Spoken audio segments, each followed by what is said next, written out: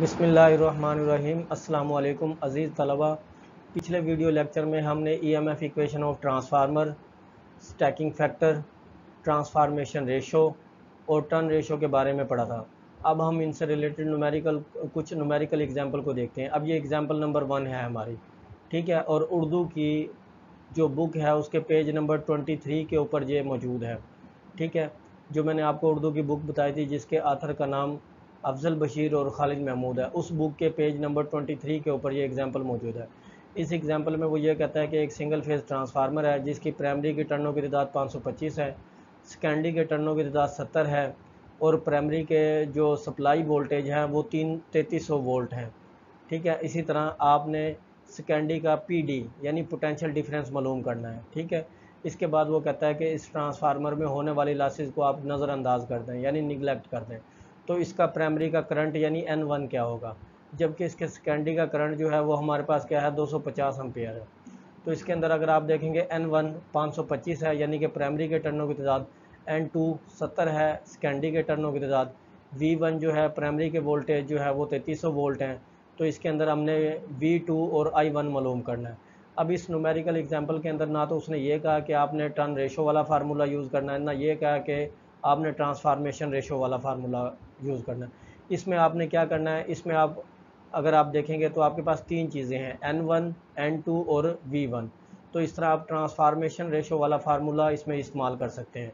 तो transformation transformation ratio जो है वो बराबर है एन टू बटा एन वन बराबर है वी टू बटा वी वन तो एन टू की वैल्यू सत्तर है, मैंने सत्तर यहाँ पर पुट कर दिया और एन वन की वैल्यू पाँच सौ पचास है, पाँच सौ पच्चीस है तो यहाँ पर मैंने 525 पुट कर दिया V2 की वैल्यू मेरे पास नहीं है और V1 की वैल्यू जो है वो 3300 वोल्ट है तो यहाँ पर मैंने 3300 पुट कर दिया इस सारी इक्वेशन को, यानी कि इस वाली इक्वेशन को रीअरेंज करने से हमारे पास क्या आ जाता है? V1 V2 की वैल्यू आ जाती है। V2 बराबर है 70 मल्टीप्लाई बाई तैतीस बटा 525 तो इस तरह हमारे पास V2 की वैल्यू जो आता है वो 440 वोल्ट आती है। ठीक है? तो ये एक बिल्कुल सिंपल सी एग्जांपल है जिसमें सिर्फ़ हमने ट्रांसफार्मेशन रेशियो को यूज़ किया है। ठीक है? इसके बाद हम नेक्स्ट एग्जांपल देखते हैं। नेक्स्ट एग्जांपल जो है वो एग्जांपल नंबर नाइन है, जो कि उर्दू की बुक के पेज नंबर 26 के ऊपर मौजूद है। ठीक है? ये एग्ज़ाम्पल जो है, ये थोड़ी सी लेंथी भी है और इसके अंदर जो है ना स्टैकिंग फैक्टर को भी यूज़ किया गया है ट्रांसफार्मेशन रेशो को भी यूज़ किया गया और ईएमएफ e इक्वेशन का यूज़ भी है। अब इसमें वो ये कहता है कि एक ट्रांसफार्मर है, जिसकी रेटिंग सौ के वी है, उसके प्राइमरी के वोल्ट ग्यारह हज़ार हैं और सेकेंडरी के वोल्टेज जो हैं वो 550 वोल्ट हैं। उसकी जो फ्रीक्वेंसी है वो 50 हर्ट्ज़ है, single phase core type transformer है। ठीक है जी? और उसका जो क्रॉस सेक्शनल एरिया है वो 20 सेंटीमीटर मल्टीप्लाई बाई 20 सेंटीमीटर है। ठीक है, यानी कि ये जो क्रॉस सेक्शनल एरिया है, ये इसका ग्रॉस क्रॉस सेक्शनल एरिया है। अब उसके बाद आपने इसमें मालूम क्या करना है? यानी कि उसका जो ए नंबर है, वहाँ पर आपने number of H V and L V turn मालूम करनी है। अब ये एच वी क्या होता है और एल वी क्या होता है? एच वी जो है वो हाई वोल्टेज वाइंडिंग की टर्नें मालूम करनी है और इसके साथ ही आपने लो वोल्टेज वाइंडिंग की टर्न्स भी मालूम करनी है। बी नंबर के ऊपर आपने E M F equation per turn मालूम करनी है। ठीक है, इस तरह उसकी मैक्सिमम कोर डेंसिटी जो है, वो क्या है जी? 1.3 टेस्ला है। ठीक है, एक चीज़ याद रखें 1.3 टेस्ला या 1.3 वाइबर पर मीटर स्केयर ये दोनों चीज़ें सेम हैं बिल्कुल। नाम इनका क्या है? अलहदा अलहदा लेकिन चीज़ सेम है बिल्कुल। इसी तरह वो कहता है कि अज्यूम कर लें, यानी फ़र्ज़ कर लें, आपका जो स्टैकिंग फैक्टर है वो पॉइंट नाइन है। ठीक है, अब उसने ये सारी चीज़ें इसके अंदर दी है और आपने मालूम करना है number of turn H V and L V और इसके बाद E M F turn E M F per turn आपने मालूम करनी है।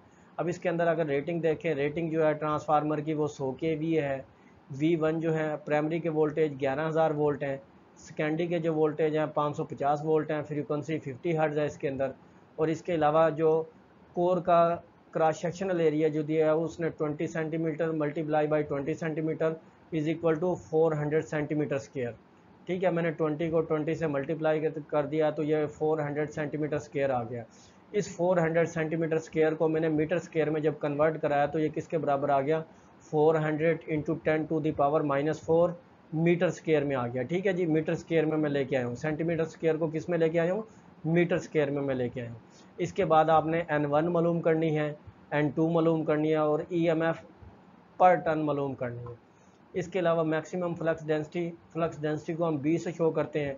यहाँ पर बी से मुराद फ्लक्स डेंसिटी है और एम से मुराद मैक्सिमम इसलिए मैक्सिमम फ्लक्स डेंसिटी जो है वो 1.3 टेस्ला है।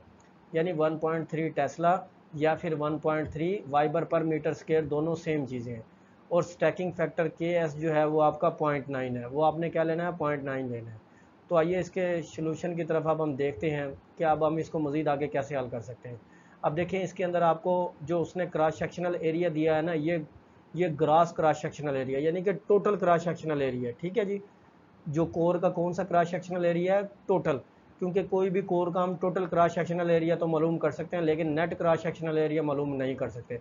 और स्टैकिंग फैक्टर भी दिया हुआ अब अगर आप देखें तो due to stacking factor cross sectional area will be ठीक है? यहाँ पर cross sectional area will be इससे मुराद है नेट क्रॉस सेक्शनल एरिया तो यहाँ पर हमारे पास फार्मूला क्या बन गया? A is equal to four hundred into ten to the power minus four metre square multiply by point nine अब ये पॉइंट नाइन क्या है? ये यहाँ पर स्टैकिंग फैक्टर है। यानी कि ग्रास क्रॉस सेक्शनल एरिया को हमने कोर के ग्रास क्रॉस सेक्शनल एरिया को पॉइंट नाइन स्टैकिंग फैक्टर से मल्टीप्लाई कर दिया। तो इसके बाद हमारे पास जो क्रॉस सेक्शनल एरिया है, वो 336 ज़रब दस की पावर माइनस चार मीटर स्केयर है।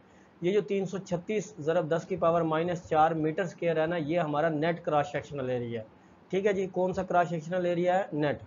अब हम क्या कर सकते हैं? अब हम E M F equation use कर सकते हैं। E one is equal to four point four ठीक है multiply by F frequency multiply by N one number of primary turn multiply by B M maximum flux density multiply by A cross sectional area हमेशा याद रखें ई M F equation के अंदर जो cross sectional area use करेंगे, वो net cross sectional area होगा gross cross sectional area नहीं होगा। तो इसलिए इस इक्वेशन से अब मैं क्या कर सकता हूँ ई वन की जगह मैंने ग्यारह हज़ार डाला है, ठीक है, जो कि हमें नुमेरिकल में दी गई है, और four point four four multiply by fifty multiply by one point three multiply by तीन सौ साठ ज़रब दस की पावर माइनस चार मल्टीप्लाई बाई एन वन ठीक है? इस सारी इक्वेशन को रीअरेंज करने से मेरे पास एन वन की जो वैल्यू आती है, वो क्या आती है? एक हज़ार अट्ठावन इशारिया आठ आती है, जो कि अप्रोक्सीमेट यानी कि करीबन बराबर है एक हज़ार उनसठ के। ठीक है? तो N one is equal to क्या आ गया मेरे पास? एक हज़ार उनसठ आ गया। यानी कि एन वन की तादाद जो है वो एक हज़ार उनसठ है। नंबर ऑफ़ प्राइमरी टन जो है वो कितनी होगी? एक हज़ार उनसठ प्राइमरी टन होगी। अब इसके अंदर हम ट्रांसफार्मेशन रेशो वाला फार्मूला यूज़ कर लेते हैं, ठीक है? एन टू बटा N one is equal to V two बटा वी वन ठीक है? एन टू हमारे पास नहीं है तो उसकी जगह हमने कुछ नहीं डाला। एन वन की जगह हमने एक हज़ार उनसठ डाल दिए हैं, जो कि हमने अभी मालूम किए हैं। इसके अलावा वी टू की जगह क्या है जी? पाँच सौ पचास वोल्ट है और वी वन की जगह ग्यारह हज़ार वोल्ट है। इस पूरी इक्वेशन को रीअरेंज करने से मेरे पास एन टू की जो वैल्यू आ गई है N two is equal to पाँच सौ पचास ज़रब एक हज़ार उनसठ बटा ग्यारह हज़ार। ठीक है, इस सारे को हल करने से मेरे पास जो इक्वेशन आती है, मेरे पास जो वैल्यू आती है इक्वेशन की, वो क्या आती है? बावन इशारिया नाइन फाइव। ठीक है, बावन इशारिया नौ पाँच। ठीक है, अब बावन इशारिया नौ पाँच जो है, वो अपोक्सीमेट बराबर है कितने के? तिरपन। इसका मतलब ये है कि नंबर ऑफ़ सेकेंडरी टन जो है, वो किसके बराबर होंगी? वो तिरपन के बराबर होंगी। ठीक है जी, किसके बराबर होंगी?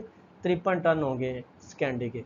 अब हम टन पर ईएमएफ e मालूम कर लेते हैं, turn EMF e per turn मालूम कर लेते हैं, ठीक है? यानी ईएमएफ e पर टन का मतलब है, जो हमारे पास प्राइमरी या सेकेंडरी की जितनी भी टन है, उसमें जो एक टन है, वो कितनी ईएमएफ इंड्यूस कर रही है, ठीक है? तो यहाँ पर देखिए ईएमएफ पर टन जो है, वो बराबर है वी वन बटा एन वन ठीक है? यानी कि वोल्टेज ऑफ़ प्राइमरी वाइंडिंग बटा नंबर ऑफ़ प्राइमरी टन, ठीक है? तो प्राइमरी के जो वी वन वोल्टेज हैं, वो ग्यारह हज़ार है, जबकि प्राइमरी की जो टोटल टर्ने हैं, वो क्या हैं, एक हज़ार उनसठ हैं। जब आप इन दोनों को डिवाइड कर देंगे तो आपके पास क्या आ जाएगी, दस इशारिया चार, ठीक है? टेन पॉइंट फोर जो है, वो वोल्ट है। इसका मतलब ये है कि प्राइमरी या सेकेंडरी की जो एक टन है, वो कितने वोल्टेज पैदा कर रही है? दस इशारिया चार वोल्ट वो पैदा कर रही है। एक एक टन के अंदर जो वोल्टेज पैदा हो रहे हैं, वो कितने हो रहे हैं? दस इशारिया चार वोल्ट एक टन के अंदर पैदा हो रहे हैं। ठीक है जी, ये हमारी जो नुमेरिकल एग्ज़ाम्पल थी, इसके अंदर हमने टर्न रेशो भी इस्तेमाल की है स्टैकिंग फैक्टर को भी यूज़ किया है, और ईएमएफ e इक्वेशन को भी हमने यूज़ किया है इसके अंदर।